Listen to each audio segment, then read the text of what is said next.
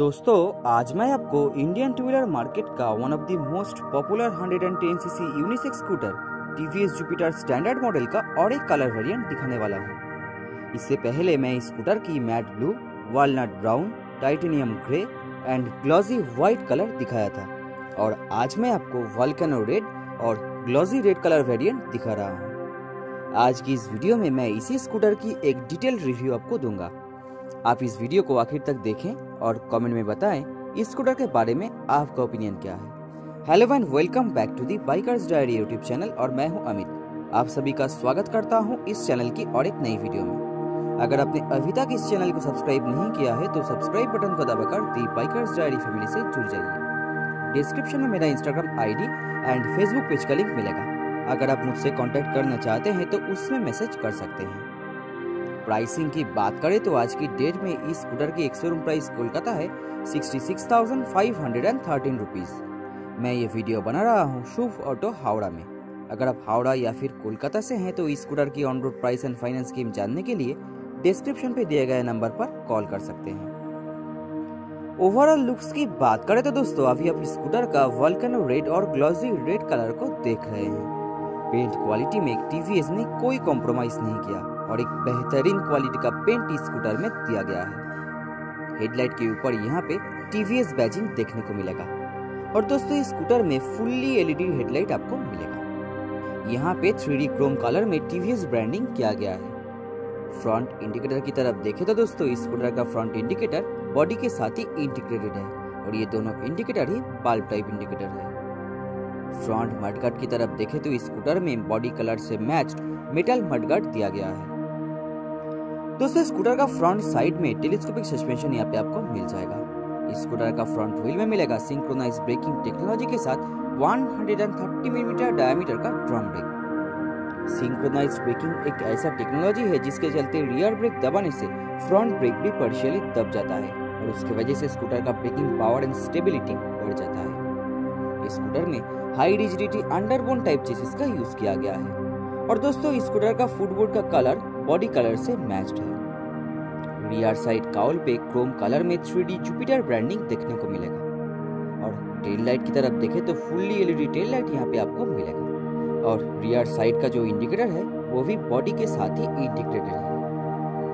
अब technical specification की बात करें तो ये स्कूटर अभी B S six compliant 109.7 CC full injected single cylinder air cooled CVTi engine के साथ आ रहा है, जो 7500 आरपीएम में मैक्सिमम 5.5 किलोवाट और 7.37 bhp पावर एंड 5500 आरपीएम में maximum 8.4 newton metre torque provide करेगा। माइलेज की बात करें तो टीवीएस मोटर्स का कहना है कि पहले से 15 परसेंट माइलेज इंप्रूव होगा इस बी वेरियंट में। उनका यह भी कहना है कि अभी ये स्कूटर 50 के से ज़्यादा माइलेज प्रोवाइड करेगा। एग्जॉस्ट मफलर में सीवीटीआई एंड बी बैजिंग भी देखने को मिलेगा। रियर सस्पेंशन की बात करें तो स्कूटर का रियर में गैस चार्ज मोनोसॉक सस्पेंशन आपको मिल जाएगा। और स्कूटर का रियर व्हील में 130 मिलीमीटर डायमीटर वाला ड्रम ब्रेक दिया गया है। इंटीरियर्स की तरफ़ देखें तो मैट फिनिश इंटीरियर स्कूटर में देखने को मिलेगा। इस इंटीरियर की राइट साइड में इग्निशन की दिया गया है। मिडिल में यहाँ पे हुक मिलेगा, जिसमें आप बैग वगैरह टांग के ले जा सकते हैं। लेफ़्ट साइड में यहाँ पे पहले चोक लीवर दिया जाता था। और यहाँ पे एक बकेट भी आपको मिल जाएगा। लेग स्पेस की बात करें तो दोस्तों, आप देख सकते हैं स्कूटर का लेग स्पेस भी काफ़ी बड़ा है। मेरा पैर होने के बावजूद भी काफ़ी स्पेस यहाँ पे अभी भी है। यहाँ सीट के सामने भी एक हुक आपको मिल जाएगा। अब स्विच कंसोल की तरफ़ देखें तो डिसेंट क्वालिटी का स्विच कंसोल यहाँ पे देखने को मिलेगा। लेफ़्ट साइड में pass beam high low beam indicator and horn switch मिलेगा।